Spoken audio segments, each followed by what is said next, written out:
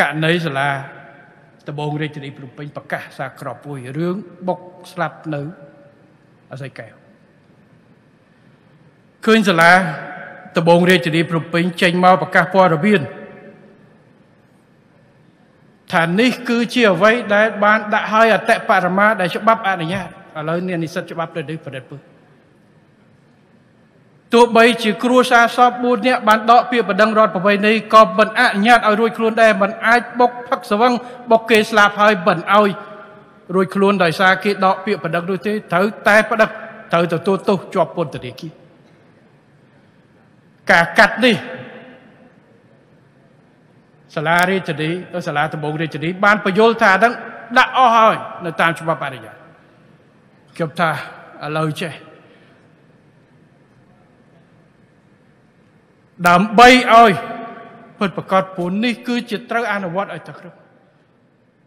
ត្រូវប្តឹងទៅអតោសូមឲ្យបកគលភារកិច្ចឲ្យក្រសួងយុតិធម៌ប្រើអំណាចអធិបញ្ជារបស់ខ្លួន តាមច្បាប់ឲ្យគោលការណ៍ត្រូវបរិយាអាញា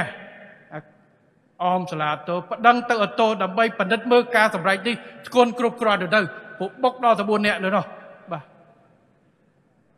តើច្បាប់ យើងទំងន់គ្រប់គ្រាន់ទៅនៅព្រោះជាសារសំខាន់ណាស់សម្រាប់អ្នកដែលប្រព្រឹត្តអញ្ចឹងកិច្ចការនេះត្រូវពិនិត្យឡើងវិញអញ្ចឹងសូមអេដាមកើតរិទ្ធគោលភារកិច្ចជូនកព្រិបជាណាអមស្វាតោប្តឹងទៅអតោឲ្យពិនិត្យមើលថាតើការសម្រេចនេះ មានទំងន់គ្រប់គ្រាន់តាមច្បាប់ជាធរមានឬនៅបាទព្រោះរឿងនេះ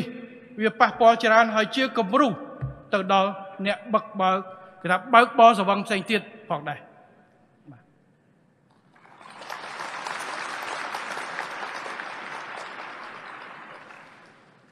បាទពិនិត្យមើលឡើងវិញហើយបើច្បាប់យើងអស់ហើយត្រឹមនឹងទៅធ្វើវិសោធនកម្មច្បាប់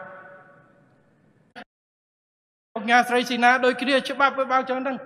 ចឹងដែលថាច្បាប់ពីមុនចឹងដើម្បីឲ្យស្របទៅតាមទម្ងន់ដើម្បីកុំឲ្យលើកទឹកចិត្តហើយដាក់ឲ្យអ្នកផ្សេងកុំឲ្យធ្វើបែបនេះបើច្បាប់មានស្រាប់យើងមិនអាចធ្វើអីលើសពីដែនកំណត់នៃច្បាប់ដែលមានជាធររបៀបនោះទេប៉ុន្តែយើងត្រូវពិនិត្យមើលបើសិនជាទម្ងន់នេះដាក់ឲ្យអស់ហើយ យើងត្រូវពិនិត្យមើលនៅក្នុងការធ្វើវិសោធនកម្មច្បាប់ដើម្បីបង្កើនទម្ងន់ទោសទៅឆ្កែក្រោយដើម្បីការពារកុំឲ្យបែបនេះតទៅទៀត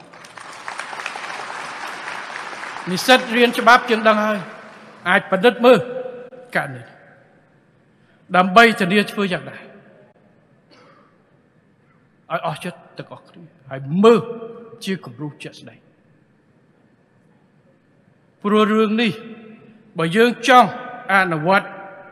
ទប់ស្កាត់កុំឲ្យមានត្រូវបង្ការ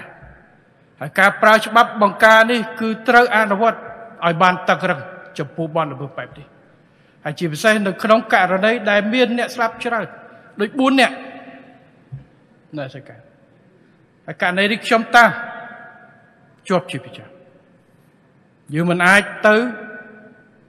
បញ្ជាតឡាការឬមួយតឡាការមិនអាចកាត់អ្វីលើសពីក្របខ័ណ្ឌច្បាប់ ដែលមានជាធរមានប៉ុន្តែយើងត្រូវពិនិត្យមើលអញ្ចឹងសូមឲ្យសូមប្តឹងករណីនេះទៅអូតូបាទ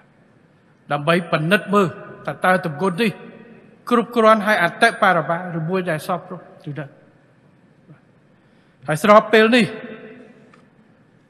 ក្រសួងយុតិធម៌កំពុងពិនិត្យនិងរៀបចំធ្វើវិសោធនកម្មក្រមព្រហ្មទណ្ឌនិងក្រមនីតិវិធីព្រហ្មទណ្ឌផងអញ្ចឹងគួរប្រឌិតមើលបែបនេះ គោលដៅណាខ្លះដើម្បីស្ថិរភាពដើម្បីកាត់បន្ថយនៅគ្រោះថ្នាក់ជាពិសេសដោយគ្រោះថ្នាក់ផឹកស្វឹងរបស់គេស្លាប់បែបនេះត្រូវដំឡើងត្រូវពង្រឹងកម្រិតនៃការអនុវត្តទោសទណ្ឌកម្រិតដែរដើម្បីឲ្យមនុស្សខ្លាចដើម្បីផ្ដល់នៅការសម្រេចមួយដែលសម្រេចភារកិច្ចរួមរបស់យើងគឺគោលដៅនៃការទប់ស្កាត់និងបង្ការការប្រព្រឹត្តបទល្មើសដដែលដដែលបែប ចំពោះកិច្ចការនេះខ្ខ្ញុំក៏សូមស្នើជាថ្មីចំពោះស្ថាប័នអាយកាស្ថាប័នតុលាការនៅទូទាំងប្រទេសសូមពង្រឹងការអនុវត្តច្បាប់ឲ្យបានបឹងម៉ាត់ចំពោះជនល្មើសដែលបង្កគ្រោះថ្នាក់ធ្ងន់ធ្ងរដល់សង្គមដើម្បីបង្ការនិងបង្ក្រាបនៅបទល្មើសទាំងនោះដើម្បីយើងបាន រស់នៅក្នុងសុខដុមនីការសង្គមក៏ដូចជា កាត់បន្ថយនៅការភ័យបារម្ភរបស់បងប្អូនប្រជាពលរដ្ឋយើងដូចជាបទល្មើសគ្រឿងញៀនជួញដូរមនុស្សបទល្មើសតាក់ទងក្មេងទំនើបបទវិចរាចរបុកគេស្លាប់ដោយភាពសង្វឹងអីនេះរួមគ្នាទាំងអស់ដើម្បីធ្វើការយើងបានធ្វើច្រើនហើយប៉ុន្តែត្រូវធ្វើដោយភ្លៀងរលឹម Land Rover នាំចូលនឹងចែកចាយផ្ដាច់មុខដោយក្រុមហ៊ុន RMA Cambodia